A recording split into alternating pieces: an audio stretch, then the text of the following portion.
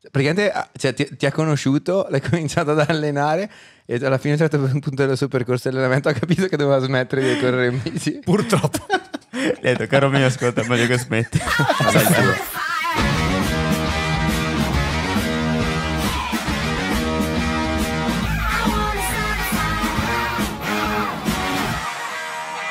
Ciao a tutti ragazzi, benvenuti in questa nuova puntata di Contropendenza Podcast. Puntata mattiniera questa, quindi ci vedete magari un pelino assonnati rispetto al solito, che sapete che questo eh. podcast è abbastanza notturno, sì, è, è registrato sempre in ore, in ore tarde della notte. Oggi con noi c'è un personaggione, secondo me, eh. dal mio punto di vista. Beh, direi proprio di sì. Anche perché abbiamo dei lungo passato eh, lo conosco da praticamente una vita, è stato il mio primo allenatore quando, quando ho cominciato a correre in bici da corsa, ma quella è solo la, la, proprio la, la puntina dell'iceberg sotto la figura di Simone. Con noi oggi appunto c'è Simone Bortolotti, non so neanche come definirti, preparatore atletico. Va benissimo. Va benissimo. Sì. O coach. Coach, coach, coach. Quindi eh, dai, come al solito facciamo un piccolo intro della tua persona e poi basta, poi parto le domande. Toby è infucatissimo anche prima di registrare. Ha già... Le, ho già esaurite praticamente. Vai Simo, tutto, tutto Buongiorno. tuo microfono. Buongiorno a tutti, sì. Sono, sono, Simone, come diceva Andrea, sono, sono, un coach. Come definirmi se non con altre parole? Anche perché il coach è quella figura che ti porta da A a B. E mi piace fare questo, aiutare le persone a raggiungere i propri obiettivi, tipicamente sportivi, Entrando ancora più nello specifico mi occupo di sport di resistenza, soprattutto mountain bike o comunque triathlon, corsa, questo tipo di, di attività. Lo faccio curando diciamo, l'aspetto e la parte atletica della persona, ma anche come sai l'aspetto mentale. Tant'è vero che sto continuando ad approfondire proprio questo argomento che sarà probabilmente sempre più presente nel mio futuro lavorativo. Ecco. Infatti mi ricordo che anche quando abbiamo fatto quel mini progetto del mm, tentativo di battere, mm, non, non battere niente in realtà, dovevamo fare più di livello possibile in bike park, la parte mentale era molto molto presente nella, nella, preparazione che abbiamo fatto, preparazione dai, non è stato chissà cosa, però comunque abbiamo lavorato abbastanza bene da quel punto di vista. Sì, mi ero divertito, diciamo che il, il coaching, il mental coaching professionale è un qualcosa di diverso rispetto a quello che abbiamo fatto, nel senso che il coaching, il mental coaching professionale è proprio basato su un vero e proprio percorso eh, con delle vere e proprie sedute dedicate, eh, più o meno strutturate chiaramente a seconda del coach e del, e del coachee che hai davanti, però ehm, sicuramente molti elementi di quelli che, che utilizzo quotidianamente fanno parte di questo percorso. Poi io non ho ancora iniziato, se non con qualche atleta, a strutturare proprio bene il percorso di mental coaching, ma sarà sicuramente il futuro. Ragazzuoli, cominciate con le domande, visto che ne avete mille mila. No, visto che si parla comunque di, mm, diciamo così, eh, attitudine mentale o comunque preparazione mentale, in realtà ne abbiamo già parlato anche, se vi ricordate, con, con Eleonora, che comunque lei, Eleonora Farina, lei comunque dà molta, molta importanza, diciamo così, alla preparazione, mm, diciamo così, della, della testa, no? Okay. e, ehm, secondo te, per esempio, non so, perché sai, eh, nel, abbiamo sempre parlato fino adesso di discipline gravity, quindi dove eh, la parte mentale ha un certo tipo di, mo- di importanza. Per quanto riguarda invece le, le, discipline di resistenza, quanto secondo te, diciamo così, mh, su 100 è importante la testa rispetto ovviamente alla preparazione fisica? Così se riesci... Sì, chiaramente è molto difficile mh, dare una percentuale, però ti posso dire che le cose palesi e chiare sono che più si allungano le distanze, più è importante la testa durante la gara e invece se per esempio penso a discipline molto più brevi, quali il gravity, eccetera, chiaramente alcuni aspetti mentali sono accentuati durante la gara. Per esempio, la capacità, eh, quella che si chiama di sincronia, cioè la concentrazione nel momento presente. In una gara che dura un minuto, un minuto e mezzo, deve essere ad un livello molto più alto rispetto a una gara di quattro ore, nella quale magari la sincronia può essere, diciamo così, ad un volume leggermente più basso, se non in alcuni momenti in cui magari è molto importante avere un'attenzione massima, però non costante per quattro ore chiaramente. Quindi, quindi sostanzialmente un atleta durante le quattro ore deve anche imparare a gestire la concentrazione, cioè c'erano momenti in cui deve essere più focus, invece momenti in cui può, fra virgolette, rilassare un po' più la mente e concentrarsi sul vero e proprio sforzo. Esattamente, la, la, testa funziona un po' come una centralina della macchina. In una gara molto lunga mh, è, è, giusto che si alternino eh, vari tipi di pensieri, vari tipi di mh, attitudini che devono servire proprio in quel momento lì. Per esempio, mi viene da pensare che su un finale di gara, anche se molto lunga, il fattore attivazione, cioè la, la, la parte motivazionale, deve essere al massimo livello. Magari invece nella prima parte di gara, poi dipende molto dal percorso, dal tipo di atleta, dalla strategia, tante cose, però la gestione energetica, quindi la, l'aspetto mentale che regola e gestisce eh, l'aspetto energetico, deve essere eh, più marcata, più sviluppata, più spiccata, cioè devo saper risparmiare energie in questo momento perché poi so che mi dovranno servire poi. Più avanti, più avanti. Quindi, quindi sostanzialmente durante le quattro ore un atleta impara sia ad attivarsi e deattivarsi a seconda del momento. Esattamente. Che secondo me in realtà è una cosa molto difficile da fare. Io avevo, avevo approfondito questo argomento quando ovviamente facevo gare d'enduro perché la, il fattore attivazione e deattivazione è molto importante perché nel senso parti deattivato, quindi ti fai tutta la tua salita, nel momento che ti prepari per fare il tuo stage ti attivi e dopo comunque devi essere anche bravo a deconcentrarti, rilassarti di nuovo per appunto recuperare tutte le energie possibili. Quindi c'è un vero e proprio allenamento per sì, un allenamento che cosa. può essere un allenamento che si fa diciamo eh, prima della competizione ma anche eh, si può studiare a tavolino una strategia di questo tipo con degli, eh, con degli attivatori, cioè mh, mm, io so che quando metto, che ne so, il casco, da lì il mio status mentale deve cambiare.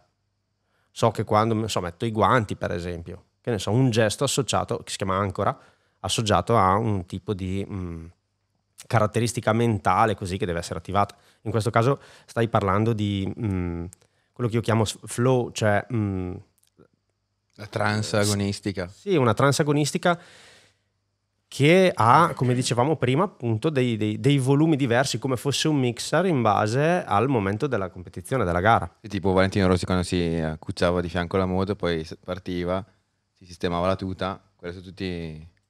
Quelli sono, ri- esatto, sono rituali di attivazione eh, più o meno scaramantici, perché c'è una differenza tra il rituale di attivazione e il rituale scaramantico. Eh, il rituale di attivazione ha un senso di esistere per la mente, perché esiste un prima e un dopo come stato mentale. Il rituale scaramantico è una cosa un po' più, mm, non so definirla bene, ma mm, ha meno a che fare con l'aspetto di attivazione. Per esempio, un rituale scaramantico può essere quello di andare a dormire la sera prima con quella maglietta rossa perché mi ha portato fortuna. Tipo i piloti che corrono sempre con lo stesso paio di mutande. Esatto. Okay. Questo non ha a che fare Anche tu? Il nostro amico Toby, mi ricordo che quando eravamo compagni di squadra faceva un po' di magheggi. no, tipo, tipo Toby racconta. Io sono sempre stato super scaramantico. Davvero? Cioè, eh, non so, mettevo... Metti i cornetti mettevi? Mettevo sempre gli stessi calzini. Ma Davvero? per correre? Sì, per correre. Tutto, i, i, primi calzini che mettevo nel, diciamo così, a inizio stagione okay utilizzavo sempre lo stesso paio. Ma se, la gara, ma se la prima gara fosse andata male, avresti comunque usato i, quei primi calzini? Sì, non, non cambiava niente. Okay. Cioè, nel senso. Però quei calzini. calzini un po' usati poi alla fine. e quello, poi vabbè, i guanti sempre messi nella stessa, nella stessa diciamo così, stesso modo. Le mele verdi. Dopo, ah sì, mai mangiato. Se io avevo questa cosa qua e ce l'ho ancora in realtà che la mela verde okay. porta sfiga. Io mi ricordo Quindi, prima, delle gare, prima delle gare, mai, mai mele verdi, ma proprio non volevo neanche vederle. Cioè, quindi se per caso fosse arrivato un, arrivato un, un bel vassoio pieno di mele verdi a tavola prima no, della gara, basta. Cioè. Alle prime trasferte, che eravamo in squadra insieme, arriviamo al supermercato, zona frutta, prendo le mele verdi lui mi guarda così. Scusa, non si sentiva. Lui mi guarda così. Io cosa ho fatto? No, no, no, no vecchio, no. mettile giù, mettile giù. sì, ma vai, questa vai. è una. Cioè, poi non so, eh, prima ovviamente la partenza di ogni stage, mettevo la maschera ai 15 secondi, dopo facevo pri- l'ultimo sorso d'acqua ai meno 30 Ok, e quello- dilutivo ai meno 5. Ma, tipo- ma cose che per me arrivare comunque alla partenza dello stage era uno stress immane perché dovevo Capisco tante cose adesso, Toby. Capisco tante cose. E comunque non, cioè tutto, in realtà tutto questo processo ehm, mi è sempre servito anche per concentrarmi. Sì. Perché una cosa che ho capito è che, ehm, almeno come, come atleta, fra virgolette, sono sempre funzionato bene quando ero sotto pressione. E magari, sai, non è sempre facile ogni gara metterti addosso un po' di tensione, no? E tutto questo processo qui in realtà mi faceva ehm, arrivare nel focus giusto a livello mentale. Questo qua poi l'ho imparato anche approfondendo, come ho detto prima, tutta questa parte di mm, mental coaching. Sì, il tuo, da quello che mi racconti, è un, un misto tra scaramanzia e rituali veri e propri di attivazione. Un po' come eh, le gestualità prima del cancelletto di partenza accendessero degli interruttori mentali che ti dovrebbero portare nel momento dello start alla massima prestazione. Quindi no- non- non era proprio scemo quello che facevi. Anzi, aveva, aveva un senso. Dopo vent'anni. In realtà non, non vedevo l'ora che tu glielo dicessi perché... No, sì, mi sentivo, secondo me, alla fine dei conti facevo un po' troppe cose, però non so, anche il rapporto lo mettevo, nel senso, mettevo sempre gli stessi rapporti di partenza, comunque avevo, avevo- mettevo il pedale nella- nella- nel, nel posto giusto, sì, praticamente, sì, quello dietro ovviamente. Ma, ma tu hai fatto ancora poi- un percorso di- con un coach, con un mental coach. Sì, sostanzialmente il mio, Ah, ecco. il mio preparatore Ok. mm, mi ha fatto un po' di... Anche lui ha approfondito perché comunque secondo me, ehm, come detto prima, la parte di mental coach a volte è veramente molto molto importante per un atleta, no? Quindi molti preparat- preparatori in realtà poi alla fine dei conti approfondiscono questa, questa cosa qua e anche il mio aveva fatto questa- questo percorso, quindi qualche dritta ehm, me l'aveva data insomma. Ma Eh, una, una domanda, Simo. Ma ehm, visto che ho sempre. Aspetta, che sto cavo come al solito le balle. Ok. Eh, visto che per la parte atletica si nasce, no? Almeno sono quella, in quella idea lì che o nasci cavallo da corsa o nasci asino e non puoi diventare un cavallo da corsa se sei un asino. Anche per la parte mentale dici che. eh, cioè, tu pensi che eh, devi già nascere con eh, delle caratteristiche naturali e predisposizione per avere un certo tipo di, di asset, un certo tipo di attivazioni, oppure ci si può allenare e comunque diventare forti da quel punto di vista lì con l'esperienza, con... Allora, noi nasciamo con un corredo cromosomico, come sai, con un DNA, cioè mamma e papà sicuramente ci danno un- una base di partenza. Un po' come il discorso del talento, poi una certa, una certa parte di questo, anche dell'aspetto mentale, ce l'hai innata. Eh, non dimentichiamoci che chi ha studiato i modelli prestativi per eh, poi diffondere e approfondire e creare un metodo nella psicologia dello sport, l'ha fatto studiando i talenti. Cioè tu osservi, scrivi quello che fa Valentino Rossi, quello che fa eh, insomma, tutti i talenti dello sport e trovi delle caratteristiche in comuni, dei talenti in comuni che hanno queste persone qua. Queste persone qua chiaramente non hanno avuto un mental coach, vent'anni fa non esisteva, e anche meno forse. Quindi sì, la tua risposta è certo, mm, si ha una predisposizione. È chiaro che da lì, dalla tua base, poi la puoi migliorare, chiaramente. Eh, fino a quando? Non te lo so dire. Cioè fino, fino a dove puoi arrivare non te lo so dire. So dirti nella mia esperienza, nel- io applico diciamo queste tecniche da circa sette anni. Ho trovato delle persone con le quali, eh, anche con sedute molto specifiche, anche con un lavoro profondo, sinceramente ne ho cavato un po' pochino. Magari per una mia inesperienza oppure una mia inefficienza non ero ancora sufficiente. compatibilità magari anche tra persone. Esatto. Con altre persone, eh, con due o tre sedute, hanno svol- ma veramente ha svoltato. Probabilmente eh, cose che già sapevano senza sapere di sapere. E quindi quando gliele butti davanti... eh, Si hanno la consapevolezza e quindi poi... Esatto. Esatto. Figata così. No, perché sai, è sempre un aspetto molto, molto difficile da, da- da spiegare. È come quello dei problemi fisici o dei problemi mentali. Il problema fisico, sì, risaputo, è una cosa comune. Quando c'è un problema mentale, no, non, non esiste. In realtà, eh, ad un osservatore attento e istruito, eh, è molto lampante qual è il problema mentale anche solo osservando l'atleta e la persona. Infatti quando io vado sui campi gara o quando osservo le persone, forse qualche feedback in passato l'ho dato anche a te, secondo me anche a Erwin appena appena, che erano forse più tentativi di allenare me stesso, non erano veri e propri consigli, però guardando e osservando le persone si possono capire molte cose sull'aspetto mentale. Ti faccio un esempio palese. Se io vado a osservare un atleta eh, e vedo prima della partenza che magari balbetta, piuttosto che ha una sudorazione eccessiva, ha 20-30 battiti in più del normale, ehm, è insicuro, eccetera. Cioè io so già che questa persona sicuramente, almeno in quel momento, ha un problema di sicurezza, ha un problema sui punti di forza. Quindi è un problema mentale, un limite, se vuoi, migliorabile dal punto di vista mentale. Magari non è consapevole dei suoi propri punti di forza, eh, oppure, non so, un altro esempio. Eh, questo è quello più lampante attualmente, mi trovo molto con questo problema qua. Persone distratte. Che chiacchierano magari. Sì. Che sparano cagate con, i, con gli altri atleti lì. Sì, eh, oppure persone che magari sotto sforzo eh, ti guardano, riescono a vedere il pubblico fuori, riescono a riconoscerti tra la folla e salutarti. Cioè sono segnali che mi fanno capire che quella persona non è concentrata su quello che sta facendo. Quindi c'è un problema di sincronia, un problema di concentrazione. Mi è capitato tre anni fa, questa, tre o quattro anni fa, vado a vedere una gran fonda, una gara, qui sul Garda, e c'è un atleta in salita, eh, circa metà gara, che non conosco, ma era nel gruppo dei primi. E sai, io vado a osservare quelli che alleno, ma vado a vedere un po' anche gli altri, no? persone che mi piacerebbe allenare o meno. E vedo che questo salendo si gira, mi guarda con la bocca chiusa e mi dice: Ciao Simone!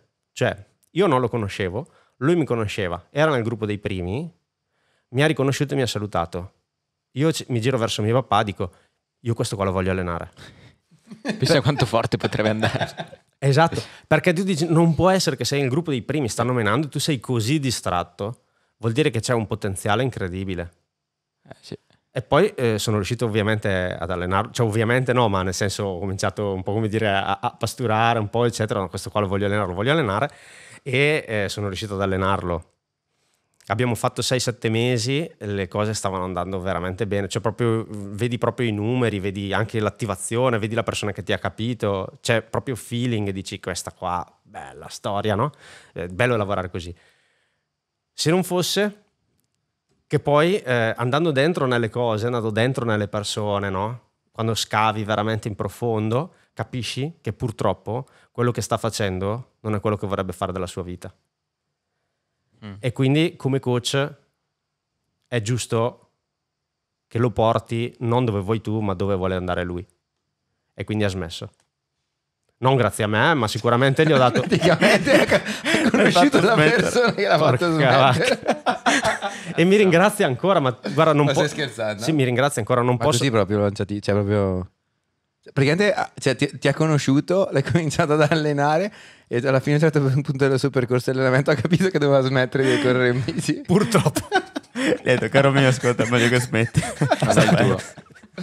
Veramente, veramente è stata, è stata così. Eh, è stata così e ho ricevuto anche telefonate. Eh, Cazzo poi, fai? Sì. Smettere di correre gli atleti. Sì, però eh, quest, questo è veramente, veramente contento. Ancora adesso siamo proprio, magari non lo sento più spesso, ma mm, mi ringrazia veramente tanto perché ha trovato quello che vuole fare. La sua pace interiore. Sì, sta molto bene. Sì, sì, sì. Ma fa, fa altri sport o proprio basta? Fa altri sport, non, okay. non agonistici però. Okay. Ha unito proprio una sua passione per, per, la montagna, per la natura, anche per la bicicletta, ma non solo. E...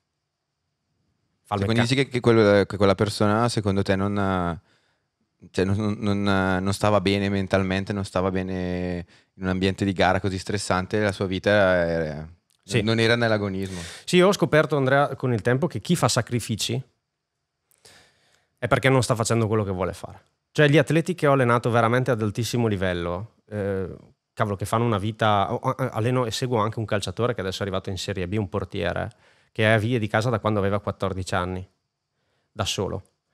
E questo non fa sacrifici ad allenarsi tutto il giorno, cioè è veramente quello che vuole fare, è fatto per quello. Poi c'è chi, c'è chi deve impegnarsi un po' di più, chi deve tenere duro, magari che i, i, i momenti bui ci possono stare in un anno, però se in 12 mesi tu fai un mese di sacrificio, va bene. Un mese e mezzo va bene. Se ne fai 11, No. Cominci a dire, uè. eh, non è il massimo. Io ne No, ma facevo anche 11 12 mi ricordo, quando correvo su strada. Ma sai cosa? Che più che altro no 12 mesi, magari fai 4, 5, 6, 7 anni. E comunque, cioè, Eh beh, nel sì. senso, ci sta. Io ho parlato con eh, un ex pro ormai di, di bici su strada, eh, che eravamo andati a fare un giretto in bici in enduro vicino a Sella Ronda, quella zona lì. E così, siccome aveva 37-38 anni, gli ho chiesto: Ma com- com'è questa storia che ti alleni ancora tutti i giorni, una marea di ore? E sì, gli ho detto: Cioè, dove trovi la voglia di alzarti la mattina, andare fuori con la pioggia? Siccome anch'io mi stavo allenando abbastanza bene in quel periodo, e mm, ne avevo un po' piene le palle, insomma, di fare tutta sta roba. E lui ha cazzo 38 anni, vuol dire che eh, ne aveva già più di 10 in più di me di, di giornate così. E allora gli chiedevo un po' che cosa ne pensava e così, no? La sua risposta è stata che finché lui si al- si alza la mattina e non gli pesa uscire di casa in bici e farsi 6 ore sotto la pioggia, era giusto continuare ad andare in bici, allenarsi e fare le gare. Ha detto il primo giorno in cui mi alzerò che sento che non è più quello che voglio fare, smetterò. E così è stato. Due anni dopo. è stato il momento in cui Si è alzato voglia, giorno sì. ha detto... Comunque adesso fa il direttore sportivo di una squadra grossa, quindi Comunque abbiamo capito era che stato in ambiente. quando Erwin e Simone incontrano un atleta per strada, quell'atleta smetterà di correre. È finito. No, però sono state belle parole, secondo me. Cioè, Sì, molto illuminante. ispirazionali. Molto illuminante, sì, sì. Beh dai, a 38 anni finire la carriera ci sta, dai. Porco cane. Ormai ne hai viste? Sì, ma lì era ancora in pieno, aveva un- cioè, una famiglia, due figli e tutto. Gli ho detto, mica, ma come cazzo fai? Cioè, tutti i giorni, tutti i giorni da vent'anni che, o di più, non so qu- quanti anni ha cominciato. Era ammirevole, Ma sai cosa? dal È mio proprio- punto di vista. Però, cioè, secondo me alcune persone hanno un livello tipo di amore per quello Mm. che fanno, comunque non so, Ossessionati Oss- sono secondo me. ossessionati e comunque proprio gli piace. Per alla fine secondo me una grossa differenza che fa, cioè la grossa differenza che fa da una persona normale a un campione è proprio eh, il tempo che tu sei disposto a dedicare a quella cosa e la qualità di tempo che ci dedichi. Un campione è talmente innamorato di quello che fa, ha talmente voglia di farlo che ci sta le giornate dal primo giorno, da come diciamo così, noi tutti penso che abbiamo incominciato ad andare in bici, i primi giri che abbiamo fatto da piccoli erano proprio, cioè io non volevo smontare dalla bici di base. Soltanto che questa cosa qua a un certo punto, fra virgolette, l'ho Vabbè, capisci che hai persa. altre priorità. hai altre priorità, eccetera. Invece chi è veramente innamorato e super focalizzato di quella cosa è chi poi alla fine... Sì.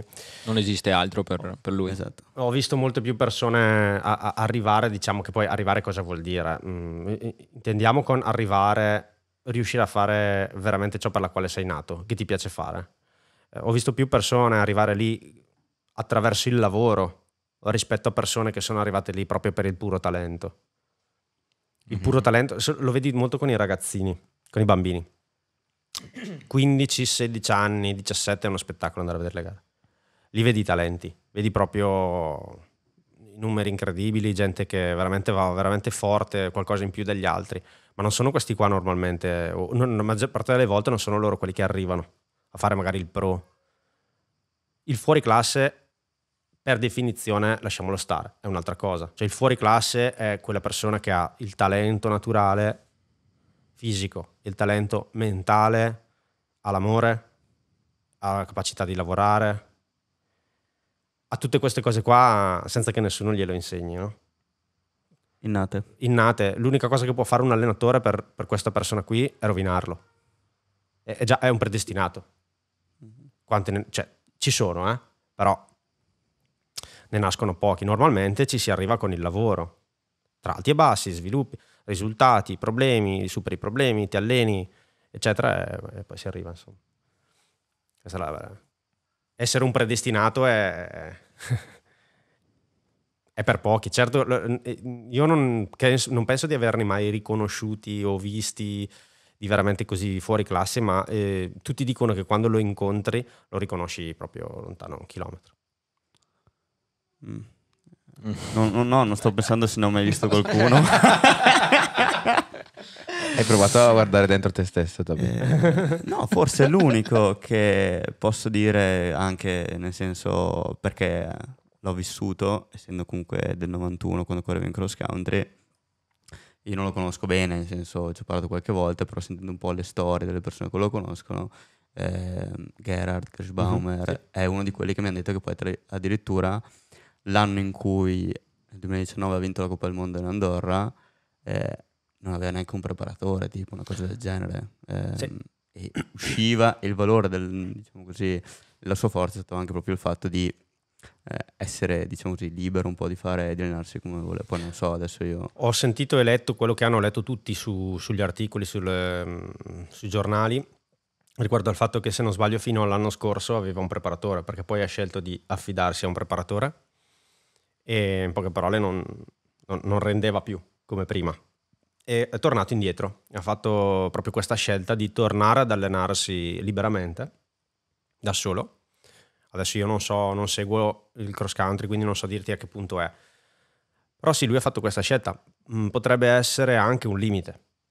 Potrebbe anche essere un limite perché tante volte invece avere una persona dall'altra parte che chiaramente deve essere compatibile con il tuo carattere ti porta sicuramente a continuare a migliorare. Non- magari, penso io, eh, non, non lo so, non conosco, però se ha scelto un preparatore, magari bravissimo, bravissimo, preparatissimo, ma uno di quei preparatori che ti dicono che cosa devi fare, con lui non funzionerebbe.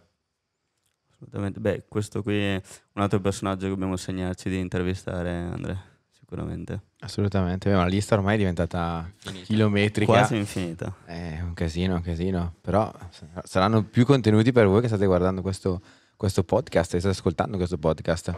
Ma beh, poi secondo me, eh, oltre al fatto di parlare di, di atleti che hanno il talento, che hanno il lavoro, anche dalla tua parte, secondo me, comunque c'è, c'è una, una parte di talento, una parte di sensibilità verso le persone con cui lavori, perché ovviamente ogni... ogni attenzione, mi perde i microfoni. Ogni figura professionale, che sia l'atleta che sia un preparatore, che sia un architetto, comunque secondo me nasce con, con determinate caratteristiche. Penso che anche tu all'inizio magari facevi più fatica a comunicare con una persona, capirla subito, capire i suoi bisogni. Assolutamente sì, ma ti dirò Andrea che anche adesso è così. Anche quest'anno mh, ho smesso di lavorare con un paio di persone, mi è veramente tanto dispiaciuto, persone valide, mh, bravissime. C'era proprio incompatibilità, c'era qualcosa che non funzionava, non so spiegarti cosa, ma succede. Però è chiaro che la predisposizione, per esempio, all'ascolto è uno, secondo me, dei talenti che un preparatore non può, Non può non avere. eh, anche se mh, ci sono, secondo me, delle persone, penso a degli allenatori di calcio, che funzionano anche con eh, altri tipi di leadership, però devi averla molto marcata e molto solida. Innanzitutto devi essere capace. E poi se sei capace, allora puoi anche pensare di importi, ma magari l'imposizione può funzionare con alcune persone e non con altre. Quindi c'è proprio da trovare un'alchimia, una sorta di, non dico innamoramento, ma proprio un'alchimia tra persone, tra cervelli.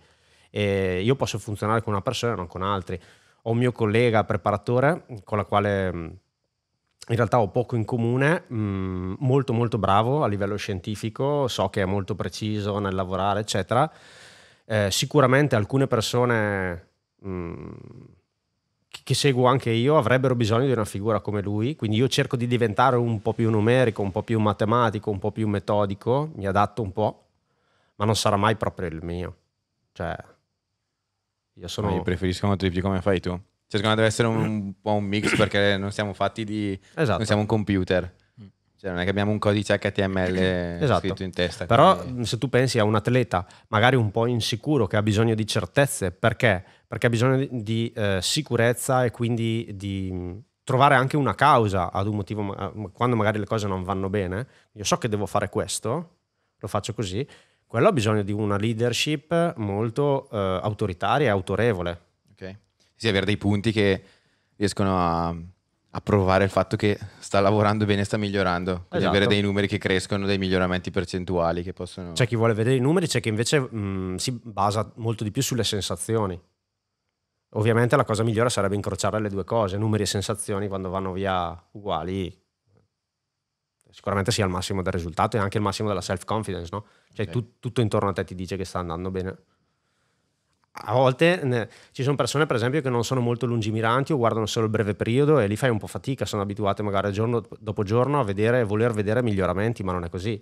Bisogna utilizzare un altro tipo di lente di ingrandimento, magari guardare, non so, i dieci giorni, guardare le tre settimane. Però è importante avere dei punti di riferimento che ti fanno capire che le cose stanno andando bene o comunque come vuoi tu.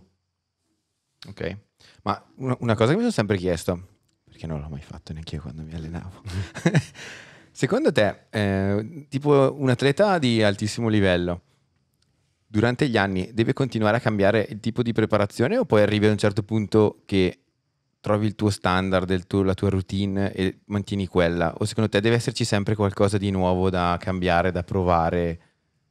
Guarda, il mio motto è sposta il tuo limite. Secondo me se arrivi a trovare la tua routine e continui con quella routine lì e magari ha funzionato, ad un certo punto o smette di funzionare o succede che la tua prestazione stagna. Cioè succede che Arrivano gli altri. arrivano gli altri. Io, mh, a me piace molto la persona che è predisposta a voler osare, a voler provare. Perché quello che penso io è che se copi qualcun altro arrivi sempre secondo. E a me piace vincere. Giusto? Oppure fare uno o due. E allora cosa succede? Che eh, chiaramente tante volte fai degli errori. Ma fanculo, si può dire. Tutto quello che si vuole. È allora, fare libero. degli errori se sono consapevoli e se sono frutto di una, di- di- di una scelta che hai fatto, che avrebbe potuto magari secondo la tua idea funzionare, va bene, facciamola. Eh, co- con curiosità, ammirazione, senso d'avventura eh, e anche, che è la cosa più difficile, l'essere disposti al fallimento. Se tu sei vulnerabile, se tu sei disposto al fallimento, allora sei libero. Se sei libero di fare quello che vuoi, allora è molto facile innovare. Quindi per te deve essere, cioè, eh, al 100% deve esserci una parte di fallimento nel, nel tuo lavoro, cioè per, per forza deve esserci. Sì. È come fare una contrattazione tipo per la compravendita di qualcosa. Se te, cioè, no, è una cosa seria. No, no, sto, ascoltando. Se te sei disposto a perdere quella cosa lì, Ok. secondo me è il, modo, è il modo giusto di contrattare, di... Sì, perché sei meno legato esatto, mm, emotivamente alla cosa. no? emotivamente. Se invece te la vuoi per tutti i costi, no, non avrai mai il prezzo giusto. Sì, dai. Vogliamo tirare fuori il discorso paure. Cioè, che attenzione. Eh, anche il discorso paura, eh, paura. Discorso, eh, l'interpretazione della paura, ci sono paure di diverso tipo, no? Ci sono quelle limitanti, paure invece che sono reali, no? Le paure reali sono ovviamente quando devi fare un drop di 10 metri e ti caghi in mano perché hai paure spaccati, insomma. ci sta. Può a, a volte la paura ti sta- Sono giustificato eh, la paura ti dice non A farlo, a tu volte, non a lo volte. fa- ecco. Poi ci sono delle paure invece che sono tutte quelle irrazionali, cioè quando hai paura di un qualcosa che lì per lì non, non- esiste, no? non c'è il pericolo in quel momento. Tipo, non so, sbagliare una gara o... No, hai paura in partenza semplicemente, Ok. hai paura di sbagliare, perché non sai cosa succederà. Mm, hai paura di fallire. Ok. Se hai paura di fallire, eh, eh, pu- puoi reagire male, nel senso che la paura tendenzialmente ti blocca, è l'emozione più forte che abbiamo. Tra tutte le emozioni la paura è l'unica che può inibirti, proprio per bloccarti completamente. Pensa al terrore, no? che è la paura portata all'eccesso. Il terrore ti blocca completamente. Non esiste nessun'altra emozione più forte. E se tu riesci a fare un lavoro tale per cui mm, non hai la paura del fallimento, se tu sei disposto a fallire, togli la paura del fallimento. Cosa vuol dire? Vuol dire mm, non aver niente da perdere. Quando non hai niente da perdere non puoi aver paura. Tony Longo, ne parlavamo prima di iniziare a registrare la puntata, l'anno prossimo non correrà più, questo è l'ultimo, l'ultimo anno che farà, ormai è ufficiale, quindi lo posso dire tranquillamente. Qualche settimana fa ha fatto una gara al 100 km dei Forti e io ero su con lui la sera prima, eravamo a cena e mi ha comunicato proprio che, il giorno, che l'anno dopo avrebbe smesso. Me l'ha detto con una serenità che in lui non avevo mai visto prima. Eh, avrei firmato una carta che il giorno dopo avrebbe vinto. Perché conosco Tony e so che eh, una delle sue, non dico paure, ma lui è sempre un, po- un pochino c'ha quell'ansietta pre-gara, tensione quando sa che sta bene, vuol far bene. ehm, Un po' paura di sbagliare qualcosa. eh sì, esatto. E infatti ha vinto il giorno dopo. E anche prima dell'italiano, ecco perché poi non è da associare la vittoria a questa cosa, perché prima del campionato italiano, domenica scorsa, mi ha detto, ma sì dai Simo, eh, ci divertiamo, ormai non c'è più niente da perdere. È stata una cosa bellissima secondo me, una cosa bellissima. Quando uno ti dice non c'è più niente da perdere, domani mi diverto, vuol dire che può anche arrivare quinto, sesto, settimo, ma comunque è il suo, Contento, è contento, è libero. Ha fatto quarto, una gara in rimonta, molto bella. Eh, forse qualche piccolo errore nella gestione energetica c'è stata all'inizio, ma poca roba. Ma ha fatto una gara libero. Bello, una bella prestazione. E quindi dici che secondo te per un atleta è meglio avere quella predisposizione mentale o magari c'è qualcuno che invece sotto pressione in determinate situazioni, magari anche, non so, avendo un po' più di, mm, non so, di, di paure, di, eh, di carica per, questa- per questo stato rende meglio? No, non credo che se una persona ha più paura renda meglio, credo che invece molte persone confondano la paura con l'attivazione, la motivazione. A volte non si riconoscono bene le emozioni. Quella, quell'ansietta, quella, quella, quell'attivazione che hai nel pregara, che ti sudano le mani eh, in positivo, no? Que- que- quell'azione che, che personalmente ho anche io, che, che ti fa dare qualcosa in più, quella non è paura. Quella è- si chiama in un altro modo, è attivazione. Carica. È carica, motivazione. No, no, è vero. La paura Eh, è solo limitante. Assolutamente, beh, la sensazione di paura mi è capitato cioè, diverse volte, nel senso prima di, sai, magari situazioni un po' delicate, pioveva, sapevo di non essere in forma, ok? E è totalmente diverso trovarsi lì per partire con la carica di dire, boh, Spacco tutto. spacco tutto, o invece partire dicendo, cazzo, occhio. Occhio Eh, che si eh, scivola. Ed è, ed è bruttissimo, secondo me. Eh, Cioè, sì, quasi, cioè, sì. parti con l'ansia e arrivi e che, che- che passi la fine e io, almeno con tutte quelle volte che, che mi è capitato, alla fine arrivi con quella sensazione che dici ma che cazzo ho fatto oggi? Sì, sì. Però di solito in enduro è più per la prima PS, no? A me, a me capita così. Cioè, di solito parto che sono veramente magari in crisi totale, fai la prima e poi... Soprattutto se la gara la mattina presto. Sì. E poi ti sblocchi. E poi mi Sono sblocco andato, Simone, devi capire che Io ho un problema con la mattina. Un problema. Infatti oggi sono abbastanza silenzioso. L'anno scorso, l'anno scorso alla Twill è stato imbarazzante. Madonna. Doveva partire cos'era la PS alle 8. Ma, no, partenza dal pago tipo 8.20, 8 e mezza. Mai successo in vita Oh, mia ma partire l'ho visto presto. dopo la prima PS che cazzo hai fatto la salita, hai pedalato, hai fatto la discesa a fuoco. Ora come se fosse appena alzato dal letto. Ero Aveva tipo l'occhietto tutto rilassato. Infatti avevo fatto una marea di errori, uno schifo di una gara quella. Vabbè. No, comunque quella paura così un po' di fallire mi è successo anche a me quando ho cominciato a fare contenuti sui social, che il pubblico è diventato più grande così, eh, perché alla fine avevo cominciato durante il lockdown con te e quindi non c'erano gare, no? Il pubblico è salito, avevo una marea di gente che mi seguiva, marea insomma abbastanza, e la prima gara dopo, cioè al ri- al ritorno delle gare, cazzo, avevo un bel po' di strizza. Paura di deludere. Sì, perché ho detto, cazzo, adesso tutti mi seguono, tutti sono lì che, mi, che aspettano il risultato e così. Eh, vedi- eh, cioè, vediamo se sono all'altezza o cosa. E, e così. Sì, non è stato bellissimo quel Ma- momento lì. eh, Poi ci si abitua. Mm. Sì, dopo ho detto, vabbè, oh, come Sì, tutti ci sono gare che vanno bene, gare male, eh, relax, cioè, vivitela bene. Ecco, sì, poi insomma, una, una delle cose, ehm, una del, diciamo così, dei detti, comunque aforismi che mi piace di più, mm, che mi è stato detto da, un mio allenatore precedente, è stato che o vinci o impari. E alla fine dei conti... eh, Hai sempre imparato te, Toby. io, io posso scrivere un libro, cazzo. Io posso scrivere un libro. Però obiettivamente, ehm, veramente le cose che impari quando le prendi Sì. Sono molto più grandi di, di quando almeno ti va bene, nel senso, o quando alla fine arrivi soddisfatto. Sì, però un po' devi anche vincere, sembra che balle.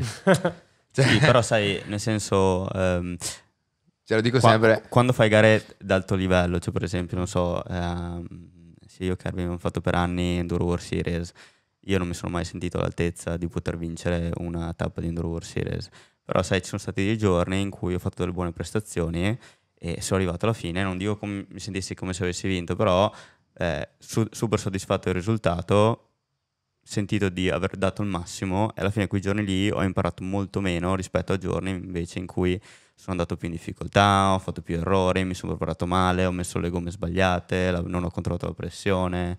e- Male, ed male, male, eccetera, Strano che poi lui controlla sempre tutto Eh. dieci volte. No, però nel senso, quelle cose là mi hanno fatto crescere molto di più che invece le, le buone giornate. No, quello ecco. sì, però tipo anch'io quando correvo su strada, cioè se non avessi avuto il, no, il talento, mi sembra un po' esagerato, però se non avessi avuto dei buoni numeri per comunque, nonostante l'allenamento.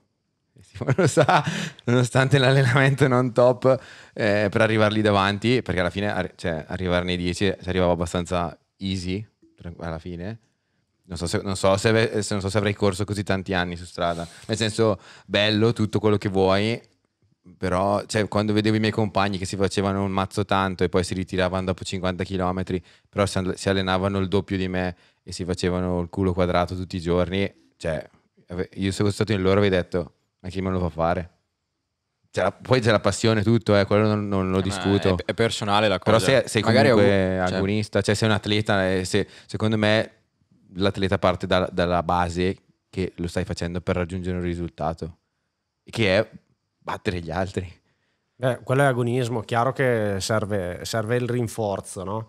Eh, a persone- alcune persone serve di più e altre meno, altrimenti non è giustificato il fatto che tu avevi compagni come li avevo io, come tutti gli altri che arrivano sempre dopo metà classifica eppure sono lì. Quindi ognuno ha il, ritorno che, che- che è sufficiente per la spinta motivazionale per continuare ad andare avanti. Probabilmente nel tuo caso, come anche nel mio, ho corso anch'io fino a 18 anni, io ero molto motivato dal risultato. Mi allenavo e correvo per quello. Infatti a me non piaceva allenarmi, mi piaceva fare le gare E Anche Per- io uguale. perché identico. vincevo. Vincevo, arrivavo secondo, terzo, eh, però crea grossi problemi. Crea grossi problemi perché innanzitutto se arrivi quarto, che sei giù dal podio, hai fallito. Quando invece c'è gente che, come dici tu, si allena al doppio e arriva dopo metà gruppo. E te ti senti fallito. E la gente che ti guarda, a volte mi è capitato anche mio papà, mi dicesse ma oh, quando sono arrivato secondo... Prendi e porta a casa. Quando sono arrivato secondo al campionato italiano, ho pianto dopo l'arrivo, dal nervoso. In quel momento non mi rendevo conto che avevo fatto un risultato alla Madonna. Ero secondo, no primo. Questo un po' è l'agonista che vuole vincere, chiaramente. E un po' perché lo fai per il risultato, ma ci sta, ci sta. Secondo me un atleta deve, ovviamente, proprio quando sei là davanti, devi avere la fame di, di voler arrivare uno, per forza. Se no è inutile farlo, nel senso. Inutile non lo so perché sto cambiando No, idea eh. su questa cosa, ma eh, sicuramente importante, sì. No, io, io- io dissento su questa cosa qua. Davvero? Ah, secondo me quando hai 20 anni che sei lì che devi fare, cioè, devi averla. Anch'io sono cambiata, tipo lo vedo anche nel mio lavoro. Cioè una volta magari stavo, una volta, sono passate una vita, quando ho aperto il canale stavo, eh, stavo lì a guardare anche cosa facevano gli altri, guardavo i numeri degli altri, eh, prendevo spunto così. Adesso sinceramente non, non- non dico che non me ne frega più niente, comunque vado molto più zen, molto più sciallo e, e so che fa- sto facendo il mio lavoro e se sono contento del mio lavoro sono contento, appunto. Non è che se uno fa più visual di me allora sono geloso o sono... Questo è anche frutto della sicurezza che hai acquisito, però. Anche sì, quello è vero. Se tu sei sicuro di quello che fai, ti piace quello che fai, i tuoi punti di forza sono solidi, è più facile andare per la tua strada. Se continui a guardare gli altri, eh, spesso è insicurezza. Come anche io guardavo una volta, adesso non guardo più niente, vado per la mia strada perché mi sta bene quello che faccio, mi piace, vado bene così. No, no, è secondo me è per questo mm, che diciamo così prima, mm, cioè ti ho detto che non sono d'accordo su quello che hai detto, per il fatto che per me non era tanto importante il risultato rispetto agli altri, cioè arrivare primo e mettere gli altri dietro, era più che altro, non so, è sempre stato almeno per quanto Che mi riguarda. imparare di più. No, sì, quello, ma poi anche mettermi, cioè io in gioco, cioè fare un test più che altro su di me, ok, cosa riesco a fare? Riesco a beccarle, cioè riesco a fare questo tipo di percorso, riesco a fare un certo tipo di gara, riesco ad arrivare a questo tipo di risultato. Dopo che ne mettessi dietro di più o di meno, chiaro che fosse stato di più, eh, sarebbe stato meglio, ma... eh, Ma, però stai dicendo la stessa cosa, n- n- nel senso che anche tu avevi un obiettivo di Sì, risultato. sì, sì, quello sì. Però nel senso n- non mi sono mai preoccupato del fatto che devo mettere dietro gli altri. Cioè, volevo più che altro migliorare. È stata più una- sempre una gara com- contro me stesso rispetto a una gara contro gli altri.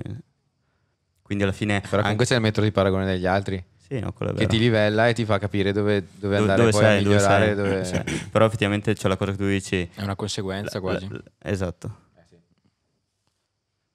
Ma secondo te invece un atleta che è, è lì, tornando al discorso di quelli che vanno e si fanno Sul il mazzo e però non arrivano mai davanti, cioè mentalmente uno che tipo va in coppa e va a correre contro uno shooter, eh, Braidotto eh, adesso. Un Luca Braidot. Luca o, o tutti quelli lì, cioè mentalmente che voglia hai di andare a farti un'ora e mezza a fuoco e Allora. arrivi se- sessantesimo, cinquantesimo, perché su strada secondo me è molto più easy, perché alla fine è uno sport di squadra, quindi lavori per un obiettivo comune, porti a casa anche un risultato e anche della pecunia, visto che se il tuo compagno vince il giro, il tour o una gara importante, porti a casa in saccoccia un po' di cose. Secondo te mentalmente, cioè secondo me ogni volta che vado in coppa a vedere il cross country, penso ma po- questi Eh, ma- poveri cristi che sono dietro che si mangiano la polvere tutto il giorno e non arriveranno mai. Ma come ha detto lui, per qualcuno magari il risultato è arrivare nei 30, e la vittoria è lì, oppure eh, semplicemente riuscire a fare quello che vogliono fare. O semplicemente correre in coppa, dici? Esatto. Ma è come Beh, dire io che vado alle. US, eh, non è che vado per vincere le US. Vuoi andare ancora, vuoi andare ancora a correre le US? Ah, un paio sì, dai. Ok, così Però per, per. L'obiettivo non è vincere, ma cioè, fino a un paio di anni fa per me arrivare nei 30 era tipo obiettivo top, Top. della stagione, no? Erwin, hai mai pensato che cosa dovrei fare io Per, arrivare vin- nei per- 30. no, per vincere un EVS? Che cosa, Sì, cosa potrei arriva- fare io? Mi arrivano cattivi pensieri Ti arrivano testa. cattivi pensieri. e quindi dopo mi, mi girano un po' le palle. Ma hai, mai provato a immaginare come dovrebbe essere il prossimo futuro, il prossimo anno, se tu volessi puntare a vincere un EVS? Vincere, no secondo. Adesso vedi che prende e si alza. Se E, ne va, e va. E non può perché la moto l'ha presa a pialo. non può andare via. No, io ci ho pensato, cioè, fino a un anno fa, due, il mio obiettivo ovviamente era arrivare ai massimi livelli, quindi ovviamente si, si cercava di guardare i primi cosa facevano e capire che, che differenza c'era tra il primo e noi. Dico noi perché eravamo magari vari compagni di squadra di cui parlavamo, e tra cui sempre Nicola, che saluto, che- con cui avevamo un gran dialogo e insomma ogni- a ogni gara ci mettavamo lì tipo un'oretta e pensavamo ai nostri punti deboli, cosa abbiamo sbagliato, cosa no, eccetera, eccetera. E mm, ci sono delle cose secondo me che non sono raggiungibili. Eh, Da per- tutti. eh, da tutti, da- tra cui me. Mm, non credo di essere in grado di riuscire ad arrivare uno alle US, sia sotto l'aspetto tecnico, sia sotto l'aspetto fisico, ehm, sia per altri aspetti. Quindi tu eh, No. conosci i tuoi limiti, cioè secondo te tu hai una linea, hai- dici, Mhm. ok, qua io potrei arrivarci, ma oltre questo, questo è il mio limite. e- ok. Può Sì. essere anche una consapevolezza, certo. Mi chiedevo solo se proprio hai mai provato a immaginarti come se non ci fossero quei limiti lì. Mm, ma intendi per il lavoro che dovrai fare per arrivare lì? Per esempio, sì, anche questo. Sì. Alzarti presto la mattina. No, ci ho pensato benissimo. Il problema è che mh, sono arrivato a un certo momento in cui avevo le idee anche ben, cioè, cioè le idee ben chiare di quello che dovevo fare, ma non avevo le possibilità di farlo. Ok, Esempio, possibilità economica, sponsor, eccetera, per poter dire eh, io il prossimo anno mh, penso solo ad allenarmi, a spostarmi d'inverno, andare in un posto caldo, fare determinati sentieri, a non pensare a niente tranne allenarsi, curare la tecnica, magari fare dei camp con qualcuno mm, di forte forte per migliorare ancora di più. Cioè, il percorso non è che sia segreto, cioè c'è quello da fare. Il problema è che per farlo è, è un- è un po' tipo il cane che si morde la coda, non ne parlavamo anche nelle altre puntate. E se non sei forte, non c'hai gli sponsor, non c'hai l'aiuto e, e quindi non puoi dedicare il 100% del tuo tempo a diventare forte e quindi certo. o hai un, qualcuno che ti aiuta all'inizio un bel po', un bel proprio un bel po', eh, tra cui la famiglia che mi ha aiutato un sacco, eh, però da lì a fare il salto ancora di più, sì, Sì, ce ne diciamo che ancora- però in realtà non so cioè, non come- è solo colpa delle possibilità economiche, Ma no. è anche una Ma un predisposizione. mix di tutto, secondo Sì, me. sì, Sì, secondo me anche il fatto che arrivi a un certo punto che ti rendi conto almeno questo è stato anche per me, io a un certo punto mi sono reso conto che forse potevo fare qualcosa di più, ma avevo tipo del, delle, diciamo così, rispetto ai più forti, avevo delle lacune su alcune cose che mi sarebbe costato veramente anni o comunque un certo tipo di percorso per andarle a colmare. Lacune tecniche? eh? Sì, lacune sia tecniche, ma anche mentali, ma anche eh, fisiche. Alcune lacune fisiche secondo me sono, come hai detto te, cioè nel senso Eh, Sei così, sei così, punto. sei così e io per quanto ci provassi eh, non so se ci sarei mai riusci- riuscito a... e la componente fisica per quanto riguarda l'enduro è una delle parti diciamo così fondamentali nel senso perché comunque uno stage di anche se fosse 5 minuti ma 7 minuti 10 minuti eccetera lì ragazzi c'è poco da avere tanta tecnica a un certo punto perché comunque quando ti fai non so una top of the world che sono 18 minuti, 18 minuti di discesa e questi qua se la giocano per 3 barra 4, 2, 1 secondo, te sei là che dici cavolo.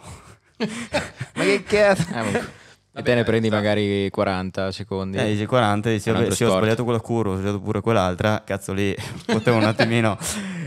Però alla fine dei conti lì c'è proprio che io sono, sono arrivato alla fine in cui non tenevo più il manubrio e non è che non avessi fatto le discese lunghe per allenarmi, non avessi fatto eh, d'inverno le furgonate per, eh, diciamo così, incominciare a predispormi su quel discorso lì. Oltretutto, parte della preparazione non la fai da solo, la fai anche con altri rider e altri rider che vanno molto più forti di te, proprio perché cerchi di imparare, di guardare, eccetera. E parlando alla fine dei conti capisci che in realtà tutti, bene o male, di riffo o di raffa fanno sempre le stesse cose. Mhm.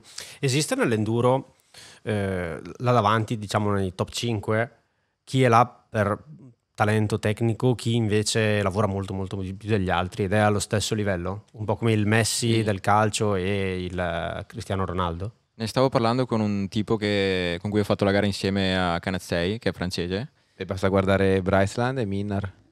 Sì, uno loro, ma un altro per dire del- cioè del- nel mondo enduro, eh, Florian Nicolai, e mi ha detto questo qui francese, che lui non si allena zero, Mai. ma zero. Ha cominciato ad allenarsi, penso un anno o due fa, e fino adesso non si è mai allenato niente, ma tipo faceva il girettino tranquillo, a un giro lì vicino casa, poi andava alle gare, bastonava tutti, e quindi gli- questo rider è diventato un po' super antipatico a, tutti, a tutta la zona di- tipo del sud della Francia, ma anche non solo, anche tutti i, i francesi, perché andava alle Coupe de France, il campionato francese, e bastonava tutti senza fare un cazzo, dove c'erano tutti gli altri che si facevano il culo.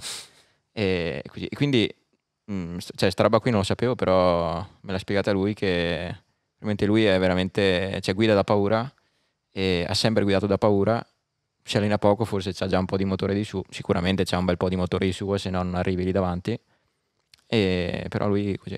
Bisognerebbe capire eh, come è cresciuto, che cosa ha fatto.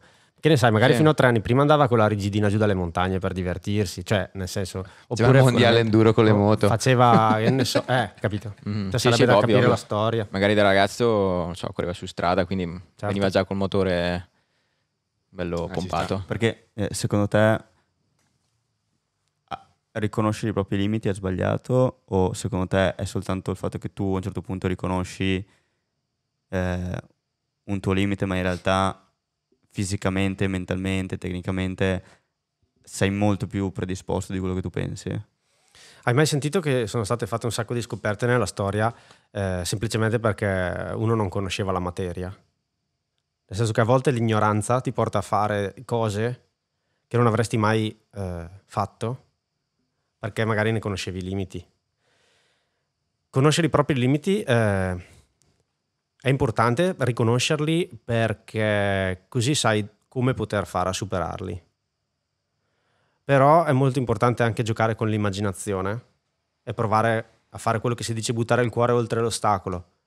Cioè, se vuoi veramente arrivare là, è importante anche saper immaginare cosa potrebbe essere se, cosa potrebbe succedere se, cosa potrei fare se, giocando. Perché quando tu immagini una cosa, eh, così era, era, se non sbaglio, non so, dire una cazzata, ma era Walt Disney che diceva se una cosa non la puoi immaginare, o se una cosa la puoi immaginare la puoi anche fare, o viceversa. Se non riesci ad immaginarla non puoi farla. tante volte è importantissimo appunto immaginarsi già arrivati e magari voltarsi indietro e vedere il percorso che si è fatto per arrivare lì. Altrimenti crei una struttura che è autolimitante. A me non, tantissime frasi che sento nel mondo del ciclismo non mi piacciono, per esempio eh, si dice spesso, eh, questo è il mio valore, io so che posso arrivare qua. E allora se è così perde il senso di tutto, nel senso... Dov'è la sfida? Dov'è la sfida? Dov'è il, il lavoro? Allora, cosa devi fare? Devi lavorare per arrivare sempre solo qua? No, mm, esiste la possibilità di fare, altrimenti non... Chi l'avrebbe detto probabilmente dieci anni fa che ci sarebbero stati dei corridori che avrebbero vinto le Olimpiadi, avrebbero vinto una tappa al Tour de France, avrebbero vinto la Coppa del Mondo di ciclocross? C'era la specializzazione. E la, cro- e la cross country. Eh, Guarda Pitcock. Eh, No, pensavo lui. proprio, proprio di Pitcock. In realtà nessun altro ha fatto questo. Sì, però pensi anche a Van der Poel che comunque è un crossista, ehm, poi è andato a fare strada, gare su strada.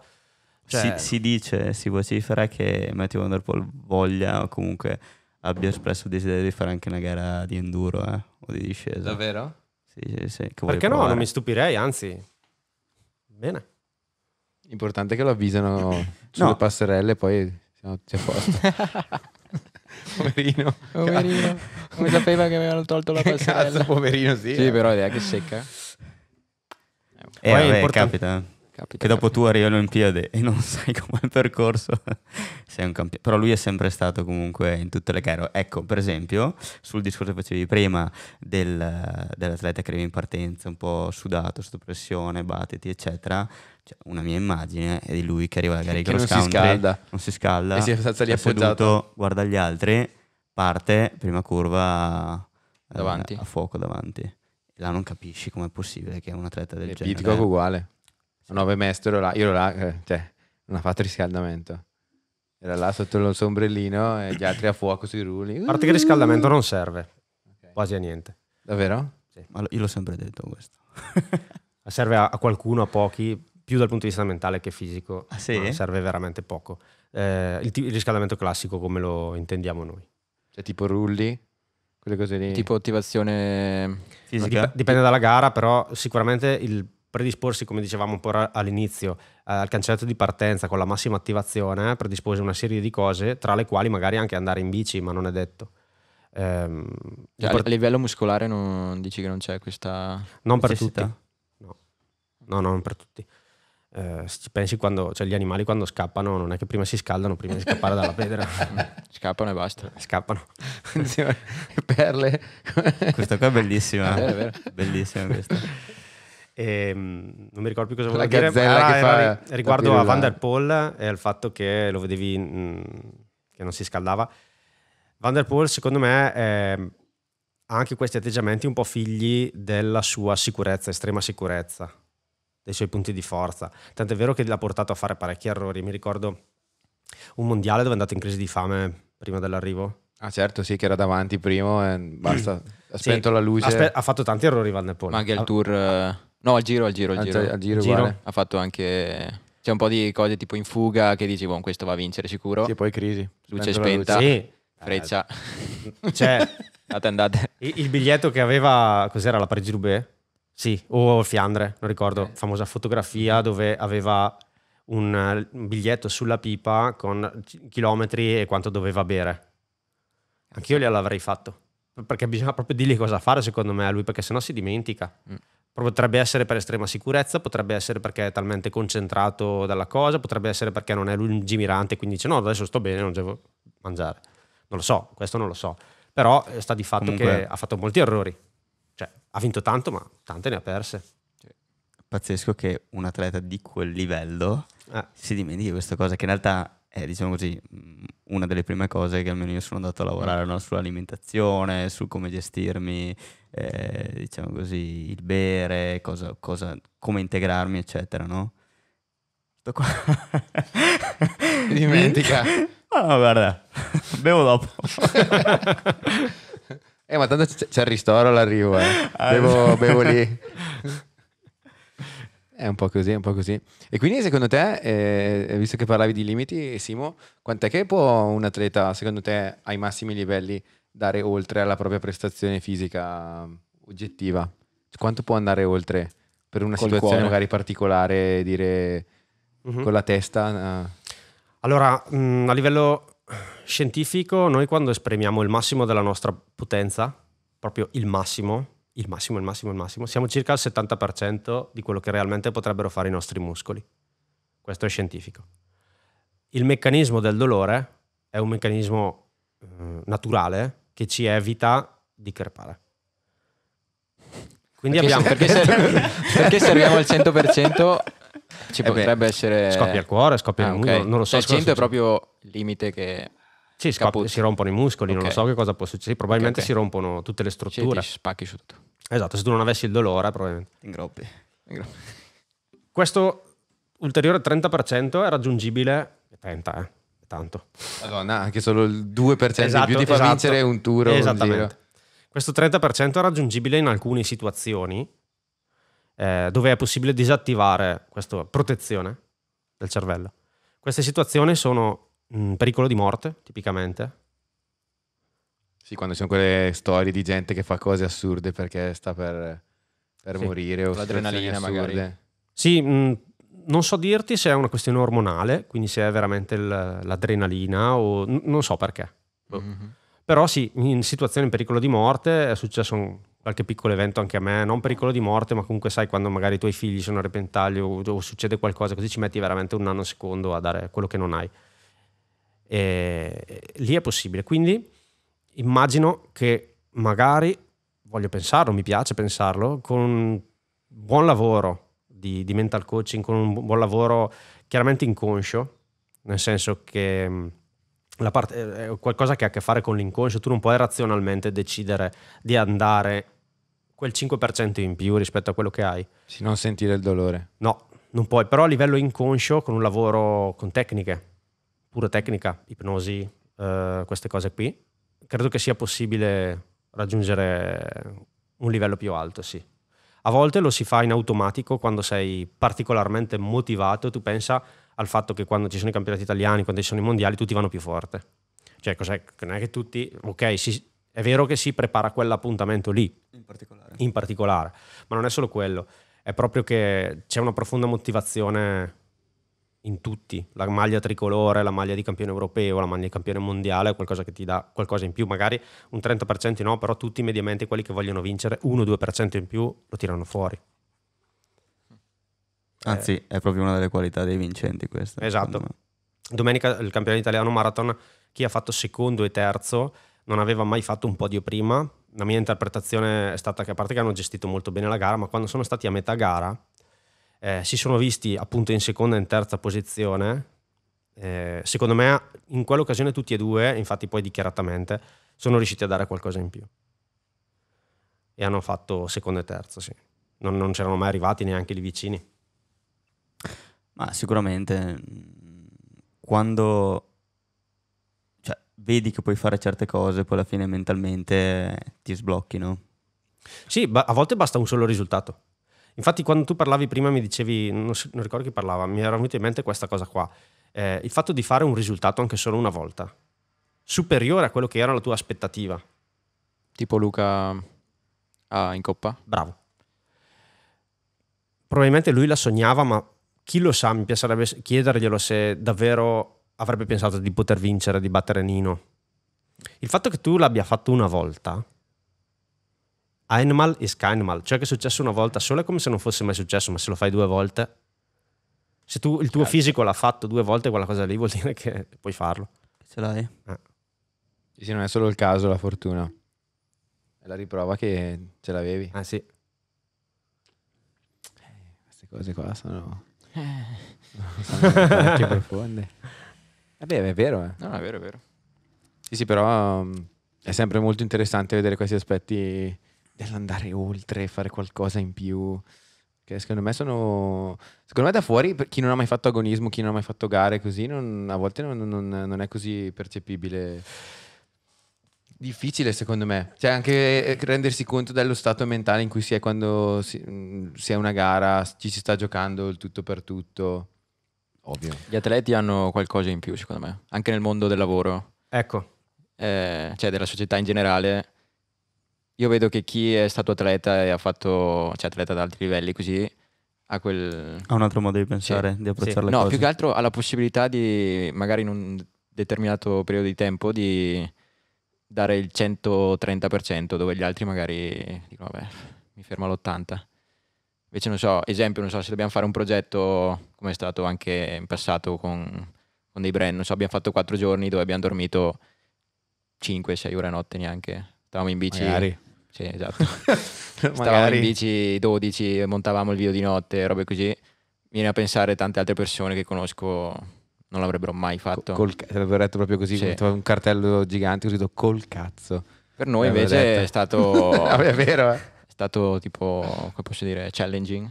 Mhm. Cioè, Sì, sì, vabbè, era una Sì, sfida, era una cosa da portare a termine. Cioè, io, io adesso mi, mi vedo molto più competitivo, sì, Ah, no, no. molto più lottatore per quello che sto facendo adesso rispetto alla mia carriera da atleta.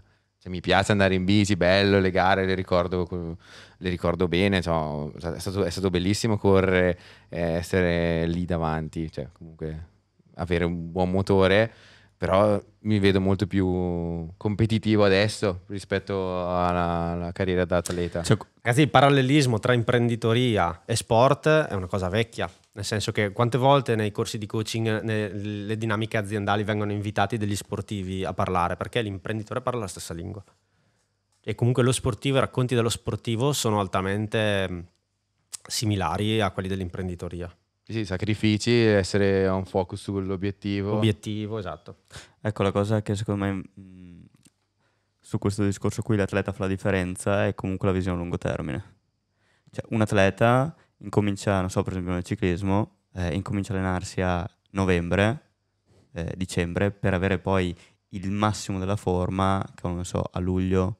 Cioè, sono comunque mesi in cui tu fai il tuo percorso, mangi, ti alimenti in una certa maniera. Eh, No, una visione di anni Sì, magari esatto, anche. volevo dirlo. no, questione di beh. mesi perché quando cominci Chiaro, a correre in chiaro. bici a 5 anni eh, il tuo sogno è diventare professionista forse tra, dopo 15 anni è un'altra roba Chiaro, chiaro, chiaro. No, nel senso, vabbè, chiaro la, la visione di anni, però anche all'interno del- di una stagione stessa, no, no, certo cioè, certo da quando incominci a lavorare, cioè tu sai benissimo che dal primo giorno in cui cominci a allenarti, il risultato di quello che farai lo vedi proprio mesi, mesi dopo, no?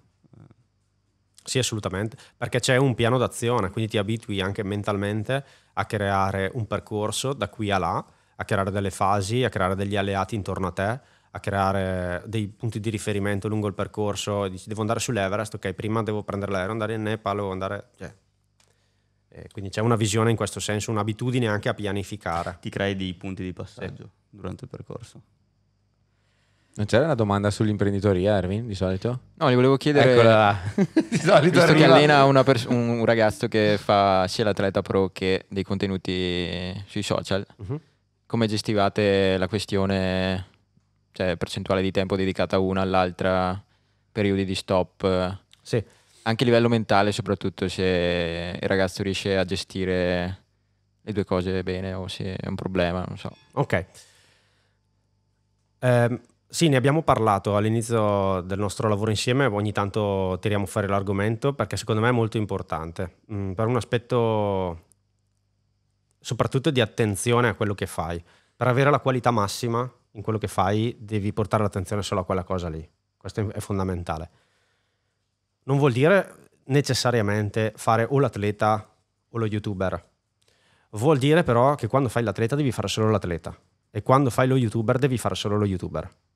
Non puoi fare un allenamento di qualità mentre fai video. Perché il cervello non è più eh, attento a una cosa sola, ma è attento a due cose, quindi è 50 e 50. Il multitasking nella prestazione non, Non ci- va bene. non va bene. no. Quindi mm, quello che ho suggerito di fare è quello di fare una, prega- una programmazione anche dei video su YouTube eh, in base alla stagione, alla stagionalità. Lui ha più o meno una lista di argomenti, di video che vorrebbe fare e que- il mio consiglio è stato quello di prepararsi, se, eh, prepararsi dei video in anticipo da poter buttare fuori, non so, adesso non, non ricordo quanto pubblica lui, mettiamo una volta al mese, ma pubblica di più. Eh, se tu ti prepari 15 video in un anno, magari 15 sono tanti, però Mm. 5 video pronti da buttare fuori quando poi non potrai Ci sono quel periodo in cui magari hai più Esatto. gare o più... questo può, può- può essere una soluzione, era un'idea che gli avevo dato io. Certo è che mh, uno youtuber bravo secondo me è anche uno youtuber che ti porta davvero, porta i follower con lui, quindi cioè, capisco. Eh, infatti la mia domanda sarebbe stata quella, cioè il problema è che essendo un atleta la gente lo segue perché è un atleta e vuole vedere cosa fa l'atleta alle gare, Mhm. cosa fa negli allenamenti. Quindi come, come- cioè, c'è una soluzione a questo secondo te? O... Ok, Come io, per esempio, faccio i vlog durante le gare. Sì, però la tua scelta è stata molto chiara, io me la ricordo, me l'hai detto. La tua scelta è stata chiara, nel senso che mh, tu hai un, un ritorno da parte di, di YouTube tale per cui nella tua lista degli obiettivi probabilmente è più importante ad oggi rispetto al risultato della gara. Lui non è ancora a quel punto lì, è al contrario Mhm. attualmente. Eh, potrebbe essere, secondo me, uno dei futuri possibili per un atleta. eh. Eh, magari hai meno voglia, oppure magari mh, ti rendi conto che effettivamente i risultati che potevi fare li hai fatti. Potrebbe essere che gli ultimi anni di carriera, gli ultimi due o tre anni, decidi di fare un passaggio e dedicarti molto di più a portare la gente all'interno delle competizioni. E allora va bene, è un altro discorso quello. Mhm. Non puoi più pretendere il top del risultato. Ma secondo te neanche nell'enduro in cui, per esempio, io parlo durante i trasferimenti, durante le pa- cioè i momenti morti, diciamo, mentre in- durante la PS io accendo la GoPro tipo, anzi, ulti- cioè negli ultimi mesi qui, le ultime gare che ho fatto, le accendo molto molto prima, tipo tre minuti prima di partire, così proprio non ci penso. Poi mi concentro, parto, faccio la mia PS come se la GoPro non ci fosse e poi fine PS spengo, cioè spengo, insomma, spengo, riaccendo e faccio magari il commento della discesa, così però è una parte in cui Mhm. non, cioè, non serve che sia super eh, concentrato. Secondo te perdo comunque, mm, come posso dire, potenziale? Sì, Qualche per, secondo per strada. esatto, cioè perdo qualcosa per strada o Sì, assolutamente. caso? Sì, io credo di sì. Ma dici che magari non potrebbe essere invece un, modo per una persona che si abitua a fare questa cosa per eh, magari sfogarsi, eh, magari in una tabella della PS, ne parli, se ne parli alla GoPro come se fosse tipo il tuo... Ho capito tuo- cosa intendi. La, tuo- la tua valvola di sfogo, ti, ti calmi perché ra- hai raccontato com'è andata e magari ti carichi anche perché sai che, non so, dici adesso andiamo a fare la seconda che mi piace un botto. eh, Mm. boh, mentalmente magari ti scarica un attimo così poi sei più pronto. Mi viene un po' difficile da credere perché mi sembra strano che tutte le volte ti sfoghi sempre con la GoPro, metodicamente e in maniera sensata. Per Perché dici che c'è sempre un po' di. cioè ci sono sempre dei filtri, non puoi Mm. essere al 100%. Secondo me sì. Eh, Una riga di beep verrebbe. Eh, ogni tanto sì.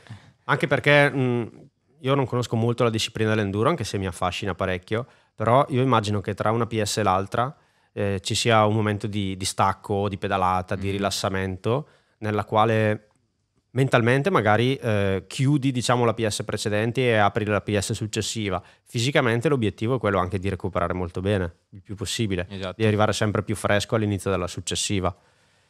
E quindi non è vero che tra una PS e l'altra non ci sono obiettivi. L'obiettivo di recuperare bene, l'obiettivo di pulire la testa dagli errori che hai fatto, l'obiettivo di cominciare a ripassare la PS successiva è, è un obiettivo. Sì, la mia esperienza è che prima le gare erano già impegnative a livello di concentrazione perché poi una gara di enduro che magari dura anche più giorni perché ci sono le prove, magari anche due giorni di prova e due giorni di gara, cioè fai un weekend che arrivi alla fine che sei Sì. distrutto mentalmente perché devi pensare alla bici che deve essere a posto. Poi anche lì se sei un atleta pro pro pro in un team eh, ufficiale è un altro discorso perché c'hai meccanici, massaggiatori, gente che ti cucina ti fa tutto. Tipo io mi arrangio a fare tutto, quindi devi stare dietro la bici, cucinare, mh, prenotare location, eh, cioè c'è un botto di lavoro in più fare la gara e in più c'hai il video, quindi eh, mi devo preparare le batterie cariche della GoPro, cambiare le batterie magari dopo 2 PS perché so che poi non mi basta più e mm, far partire la GoPro, cioè ci sono tanti passaggi. Io arrivo alla domenica sera che sono cotto marcio, ma più, cioè più mentalmente che fisicamente, perché devo pensare a 100.000 cose. Quello Eh sì, faticoso. assolutamente. È faticoso, però mh, nel tuo caso sicuramente io penso che ne valga la pena. Sì. No, più che altro secondo me ne vale la pena perché mi piace farlo. Assolutamente. È quella sì, la sì, sì. questione. Cioè, ci sono- mh, ho parlato con tanti altri atleti che dicono: Eh, cazzo, anche a me piacerebbe perché agli sponsor interessa e così. Ma gli ho detto: Ma sei sicuro? Cioè, è quel- ti piace montare video? Ti piace condividere la tua vita? Ti piace passare il 50% in bici e il 50%? Adesso anche il 30% in bici e il 70% magari Al PC. al PC o sul telefono, mandare email e cose. Per esempio ho parlato con un mio amico a Petzen, la penultima gara, e lui adesso lavora, mi sembra part time in un negozio, fa un po' il meccanico, un po' vende così, e poi un po' si allena e va in bici. E tu cazzo, se, cioè, se riuscissi anch'io a iniziare a fare contenuti così, potrei sostituire il lavoro da, tipo da meccanico con quello da youtuber, eccetera. E tu gli hai detto guarda che non è part time. E gli ho detto, primo non è part time, secondo vecchio, lascia sta, stai tranquillo. No, gli ho, detto- gli ho fatto lo stesso discorso, gli ho detto, pensaci bene, eh, se ti diverte proprio, cioè se ce l'hai dentro sta roba che vuoi comunicare, che vuoi fare contenuti, ti piace... mm, ah, perché poi c'è tutta la parte tecnica proprio di, di editing, di carica su YouTube, cioè non è una cagata.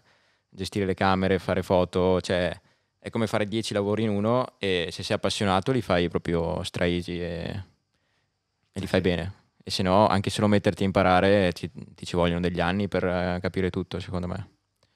Sì, mm, poi magari è una cosa che se la fai al 50-60% ti può aiutare un pochino a livello economico, proprio parlo puramente, ma io credo che non sia così roseo. Cioè, Anche lì, per arrivare al livello in Eh. cui diventa un lavoro, che non è che Non è così in, in due mesi lo fai, ci vogliono magari anni di... Fare il vostro lavoro, secondo me, per come la vedo io da fuori, poi mm, voi mi smentirete, vuol dire eh, scegliere un altro tipo di lavoro e a lavorare, se va bene, almeno un anno gratis, solo per imparare. Anche di più. Concordo. Minimo, minimo. Sì, sì, no, no, concordo. Sì, sì, ho fatto... Cioè, il primo Anche- anno tu dici, io faccio un, un lavoro e lo anni. faccio gratis per un anno, Sì, sbagliando, andando male. Poi forse, se sono stato bravo, e lo capisci dopo un anno, se le cose vanno bene o no, Sì, sì, sì. se vanno benino che dici, magari continui, altrimenti hai buttato via un anno. Ma buttato via no perché hai imparato qualcosa, ma sicuramente... Beh, anche questa è una parabola dell'atleta, secondo me. Eh, infatti per me non ha pesato Perché molto. ci sono perché- anni e anni in cui non fai un cazzo di risultati e... Sì, dopo il mondo web eh, magari tiri fuori quel video dal niente, È vero. Sì, fa un sì, beh, di visual, certo, perché non dipende da te però. non dipende da te. Cioè, no, dipende perché il contenuto se non è valido non funziona, non esiste quella cosa che a caso di, non funzionano i contenuti. Però secondo me sì, di- in parte non dipende da, da te. Però se ci vuoi lavorare non è quel video No, che ti cambia no, la vita. Zero, zero. Cioè, eh, costa- è come, perché poi secondo me tanta gente ehm, non capisce che, cioè, secondo me per noi che siamo abituati ad andare in bici, doversi allenare sempre, dover eh, essere sempre sul pezzo, non mollare mai, non aver pause, è molto simile a al- all'allenamento in bici o l'allenamento in generale dell'atleta. Tanta gente che vuole secondo me cominciare a fare questo, questo lavoro non capisce che è, è esattamente la stessa cosa. Cioè non puoi fare un video, devi continuare tutti i giorni, che migliorare, costanza e non mollare, non avere, non avere le fisime di dire no, non pubblico questo video perché secondo me non è il 100% di quello che posso fare. Cioè lo devi comunque pubblicare secondo me e quello dopo sarà meglio, sicuramente sarà migliore. È come dire che uno non va a fare una gara perché non si sente al 100% in forma e va a fare solo al mondiale perché è l'obiettivo finale. Devi farle tutte le gare. Poi c'è un altro aspetto, secondo me, delle youtuber che, che- che devi avere qualcosa da dire. Cioè, non basta fare video, devi avere qualcosa sì. da dire. Infatti, senso- secondo me lui aveva stra ragione quando ha ha detto al suo amico devi proprio sentirtelo. eh sì. Cioè, se non te lo senti, lascia stare perché è inutile farlo così a caso per accendere la telecamera e filmare due cose. No, può funzionare all'inizio, sì, due giri in bici, magari qualche visual la fai, però eh, se vuoi fare il professionista devi avere, a parte una certa personalità, ma soprattutto contenuto, se- devi avere qualcosa da dire. Può essere giornalismo, può essere reportage, può essere quello che vuoi, ma deve avere un senso. Può, essere- può far divertire, eh, può anche far divertire. Mhm. Vero? Eh, o fai informazione o divertimento o... Cioè, ci sono le Sì. tre cose... Cos'è? o anche Informa- tutto insieme. Sì, oppure insieme, esatto. Un bel mix. Esatto, esatto. Come tipo... Fu- i- Fusion. Vai, vai, Topi. E te invece per, la tua, per quello che fai ti è mai venuto in mente di fare contenuti eh, o comunque, non so se video, mi hai parlato che hai comunque fatto un, un podcast, anche te? Sì, ho un canale YouTube eh, vecchio e ho un canale podcast che ho aperto durante il lockdown. Ehm, ho fatto dei video, mh, uno in particolare che mh, funziona ancora adesso, ho fatto non so quanti, più di un milione penso di visualizzazioni. Veramente? Sì, ma è un video veramente brutto. Eh beh, ma non- cosa vuol dire? È un video Eh. che- dal titolo Migliorare incredibilmente in 4 minuti. In quattro minuti? 4 minuti. Cioè, prendi, esci e vai a correre. E ho presentato un allenamento Tabata. Ok. quindi 20-10. Questo allenamento qua, questo video è stato fatto perché come regalo di Natale ai miei clienti gli ho mh, registrato questo mio allenamento da 4 minuti, gliel'ho mandato scherzando dicendo dopo che mangiate il pandoro fate questo. E poi l'ho pubblicato su internet inizialmente privatamente, poi l'ho messo pubblico. Il titolo è stato Boom, è un, un video che avrà 10 anni. Poi l'hai, l'hai pubblicato nel periodo di Natale? Sì. E beh, quindi tutti quelli che Esatto. erano fuori forma a Natale avranno detto ah da qua adesso mi rimetto in forma. Esatto. Quel video lì ha fatto boom, video fatto veramente male, così proprio casalingo, ma il titolo è stato azzeccato e un sacco di persone, ma decine di persone mi scrivevano chiedendomi consigli su quell'allenamento, su come fare, su quante volte a settimana, eccetera, eccetera. Eh, da lì ho fatto altri video ehm, più o meno interessanti, sempre in maniera molto casareccia con il telefono, eccetera. Eh, però poi ho un po' abbandonato negli ultimi anni non ho più fatto nulla, non che non mi piacesse, ma mh, non so, diventa sempre più difficile anche perché adesso tieni la qualità alta oppure devi avere dei contenuti veramente importanti, interessanti, anche perché rischi di diventare banale. Poi ormai su YouTube trovi tutto e farli per farli e basta, no, se li faccio li vorrei fare bene. No, perché pensavo, sai, è un po' quello che mi hai raccontato prima degli atleti, perché tu oltre, diciamo così, ad atleti che fanno marathon, segui anche atleti che fanno ultra, ultramarathon, Sì, si sì, chiamano, sì, o comunque 24 ore, o il ragazzo cui mi hai parlato prima che, fa che ha fatto la traversata degli Stati Uniti, non mi ricordo il nome. Alex Bellini. Esatto, Alex Bellini, che mi ha detto comunque che gli fa tutta l'assistenza durante la traversata, che, che quello lì è uno dei contenuti Cazzo, vero? Che- Pensa che figo. No, ver- che veramente potresti Eh. fare te, ma veramente s- pochi. Scusa, Pochissimi. posso farti una domanda? Per- perché dovrei farlo poi? Perché a me piacerebbe vederlo. No, ma il mio ritorno, cioè dico... A livello di marketing. No, no, non, non so Però dovresti senso, fare. faccio i soldi. No, no, no, Ok. no, non, è quello secondo me il fatto. È il fatto Secondo che... Aiuto le altre persone. Sì, potrebbe essere. Secondo me potrebbe essere una buona ispirazione per tanta gente, un'ottima vetrina per te perché comunque eh, puoi a dare una... Oltre, oltre al fatto di far vedere l'impresa che sta facendo una persona, tu sei la persona, tu sei la figura professionale di fianco a quella, persona e quindi un possibile tuo cliente può vedere da vicino come lavori con un atleta di quel livello. Sì, però potrebbe non essere nel mio interesse attirare altri clienti. No, no, ma Quello io... sicuramente, però sai, non, non sai mai in un futuro chi può vedere... L'unica molla che mi avete fatto un Ok. po' vibrare è l'aiutare le altre persone, eventualmente. Ok. Perché non mi interessa trovare altri clienti. Eh, però magari un, un atleta della Madonna, non so, che, che non hai mai conosciuto, vede questo progetto che fai con questa persona che comunque è ba- è abbastanza importante e famosa, vede come lavori e dice cazzo io voglio, io voglio che sia Simone il mio prossimo preparatore. O magari per un progetto particolare che, a cui te, cioè, che ti piacerebbe magari un sacco collaborare. Allora devo dire la verità che attualmente nella mia posizione, nel mio momento lavorativo, avrei bisogno. Mi Mhm. piacerebbe molto un progetto importante adesso, grosso.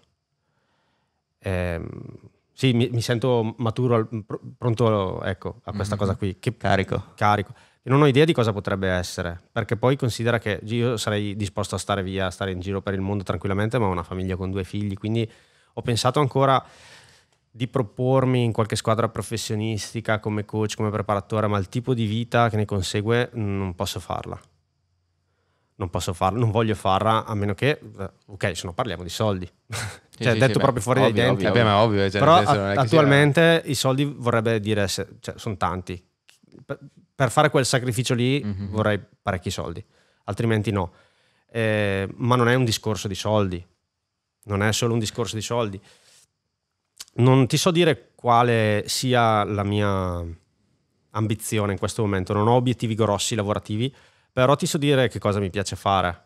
E il fatto di fare assistenza a questo tipo di cose, il fatto di fare assistenza, più volte sono stato, sono stato in Norvegia a fare assistenza a un mio atleta che, che ha fatto degli Ironman estremi, sono stato, ehm, quando sono sul campo proprio, quando sono sul campo e so fare massaggi sportivi, so organizzare a livello logistico gli spostamenti, so utilizzare le GPS, le cartine, le coordinate, farmi trovare lì a quell'orario, eh, dargli dei feedback, e questa è la cosa che mi piace di più, dare dei feedback dall'esterno all'atleta, dei feedback chiaramente eh, utili, Mhm. dei feedback che servono per mettere in condizioni l'atleta di esprimersi al massimo o di superare un problema, non feedback dai dai bravo bravo, Sai che sei a 10 secondi dal tipo lì davanti. non so, varie cose che mi consentono di metterlo nelle condizioni di massima prestazione. No, ma eh, secondo me, nel senso, io ti ho fatto quell'esempio lì non per dirti dovresti farlo a livello di pro- promozionale. No, eh. no, certo. Cioè, eh, secondo me, nel senso, eh, la grande verità è che sì, ci vuole la parte, diciamo così, ehm, professionale o comunque la ricerca di nuove opportunità, ma in realtà secondo me è una cosa talmente bella, cioè comunque... ehm, Beh, ma anche Che- solo che- un no, ricordo. che- sì, ma Secondo me quella- anche ma solo quella- avere il ricordo di alcune cose che non, non potrai mai ricordarti, nel senso Mm. ti ricordi l'esperienza, ti ricordi, eh, ti ricordi che hai fatto quella cosa lì, però dopo anni, non so, la battuta, che, la cazzata che hai detto, eh, non so, lo scorcio che hai visto, quelle cose lì, se, se non hai una, una fotografia, un video, non puoi, non puoi ricordarti. No, hai ragione. Ehm, tante volte mh, mi è capitato di mettermi lì e cominciare a editare video. Poi dopo vuoi per mancanza di Non sei tempo, convinto. vuoi perché comunque mi interrompo. Cioè poi ho una vita che ho un ritmo tranquillo, tranquillissimo, ma lavoro dalla mattina alle 6 alla sera alle 9. Piano, ma sempre. Sto anche studiando psicologia adesso all'università, mi sto facendo la seconda laurea, già faccio fatica a trovare il tempo per quello. Eh, E torniamo al discorso di prima, che o ce l'hai dentro che vuoi farlo, se no Eh sì, il discorso è quello. meglio lascia stare. Eh, devi Esatto. investire, allora devi assumere un videomaker che ti segue e fa tutte quelle cose. Sì, lì. potrebbe essere un'idea, potrebbe essere un'idea. Mm, ci ho pensato spesso, avrei anche delle persone di riferimento, anche te, volendo, da- non so se sei disposto, però mi è No, venuto ho in mente smesso di molt- fare quel lavoro. Ok, lì. mi è venuto in mente molte volte. Sì, può essere sicuramente un futuro. Devo trovare prima il perché. Ok. Il perché però potrebbe essere, se dovessero aiutare qualcuno, allora potrebbe essere un perché che Fateci sapere qui sotto nei commenti se avete qualche progetto matto che volete proporre a Simone. Più sono matti i progetti, più Simone risponderà alle vostre richieste. Soprattutto se è un campo in cui non conosco nulla, lì do il massimo. Ok, ok. È incredibile, ma è così. Beh, direi che siamo arrivati alla fine di questo podcast anche perché siamo andati parecchio lunghi. Mi fa molto piacere. Sì, ti dico, che mi abbiamo sono, parlato. mi sono tenuto un po' di domande sul, sul discorso ultramarathon che faremo in un'altra Beh, volta. faremo un'altra puntata. Se volete vedere ore un'altra puntata con, con Simone, anche perché Simone ha di storie da raccontare. Che oggi abbiamo solo parlato di aspetti tecnici, ma se, se avessimo cominciato a parlare di tutta la tua storia, i viaggi che hai fatto, le cose, cioè, cioè. Wow. In realtà, in realtà sì, se volete vedere, avere, avere qualche assaggio di queste storie potete tornare sul mio canale YouTube dove abbiamo fatto durante il lockdown una bellissima live eh, su YouTube insieme a Simone dove ci ha raccontato davvero tantissime cose eh, super super interessanti. Detto questo No, ragazzuoli, se hanno domande o robe strane Sì, possono commentare sì, sì, così sì, rispondiamo, magari rispondi anche se te. siete su YouTube ovviamente perché se state ascoltando questo, Ah, questo podcast eh, su una piattaforma di podcasting ovviamente non potete commentare ma potete andare su YouTube, iscrivervi al canale, seguire i podcast sulle varie piattaforme visto che sono praticamente ovunque, che sia Spotify, Apple Podcast, Amazon e tutto il resto. Noi ragazzoli ci vediamo al prossimo episodio, la nostra lista degli ospiti si allunga sempre di più e abbiamo in programma tante tante belle conversazioni con tantissimi eh, personaggi super interessanti. Grazie Simone per essere stato con noi e averci raccontato davvero ta- tantissime cose. Grazie Toby. Grazie Erwin. Grazie, a voi. Grazie, Grazie mille. a E te, ci vediamo alla prossima. Super. Ciao. Ciao. Hola.